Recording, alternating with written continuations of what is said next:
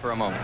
This match took place in Madison Square Garden, 1974, and the commentary you hear is by Frank Gifford and Buddy Rich. Mm.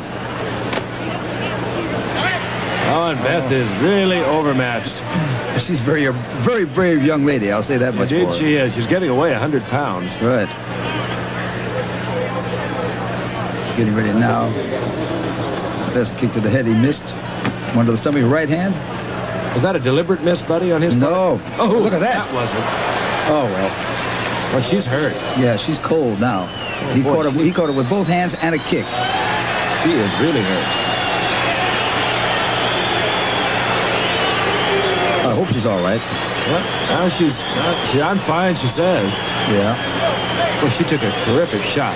That Buzzy, spirited Here it is. little lady from Oklahoma.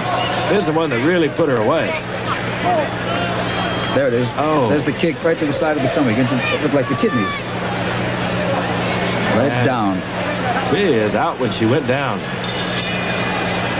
Good girl. Uh, Good try. Crowd booing, and of course they're booing Joe Hess, who was really set upon by Beth at the outset. For a moment. This match took place in Madison Square Garden, 1974, and the commentary you hear is by Frank Gifford and Buddy Rich. Mm. Oh, and Beth is really overmatched. She's very, a very brave young lady. I'll say that much. Indeed, for her. she is. She's getting away 100 pounds. Right. Getting ready now. Best kick to the head. He missed. One to the stomach, right hand. Was that a deliberate miss, buddy, on his No. part? Oh, look at that. That wasn't. Oh well. Well, she's hurt. Yeah, she's cold now. Oh, he boy, caught her. He caught her with both hands and a kick. She is really hurt. I hope she's all right.